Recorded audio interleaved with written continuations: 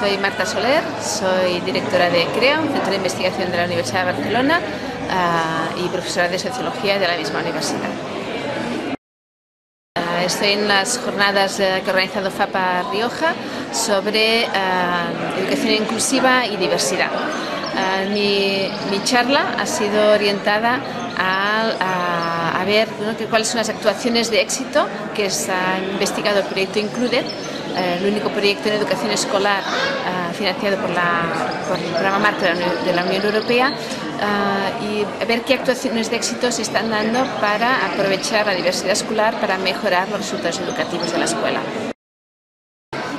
Existe la idea de que si hay fracaso escolar es porque ha aumentado el alumnado inmigrante en nuestras aulas, como mínimo en España.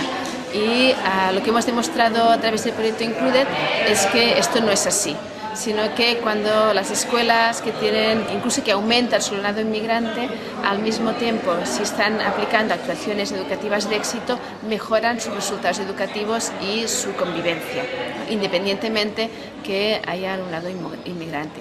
Por eso es necesario desmontar esos tópicos, pero no con discursos, sino con evidencias.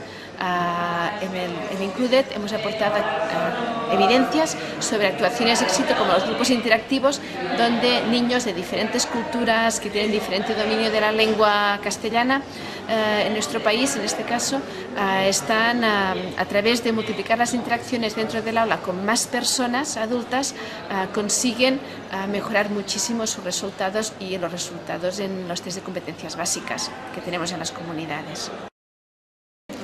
Uh, bueno, como comentaba, uh, para, para, tener una escuela inclusiva o una aula inclusiva, lo que necesitamos es uh, no solo no segregar al alumnado del aula, no se trata solo de eso, sino hacer actuaciones concretas.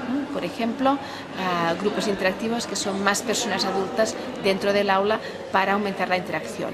Por ejemplo, um, soporte actividades de extensión del tiempo escolar o, lo que sería pues, uh, refuerzo escolar. Uh, o también participación de las familias en actividades de aprendizaje, ya sea con los niños o ya sea uh, para las propias familias. Estos tres tipos de actuaciones se han encontrado que son uh, actuaciones que provocan éxito en escuelas donde hay diversidad uh, socioeconómica y cultural.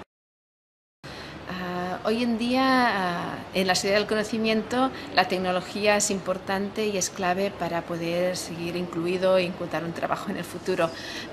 En ese, en ese sentido, es importante el trabajo con las tecnologías dentro de los centros escolares, pero no solo incluir tecnología, sino cómo trabajarla y trabajarla de forma inclusiva para todos y todas.